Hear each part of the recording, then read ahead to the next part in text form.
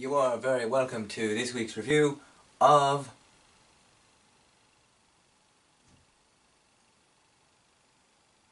something.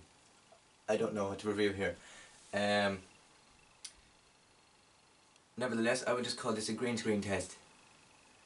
Uh, recently I have been testing out my green screen as seen behind me.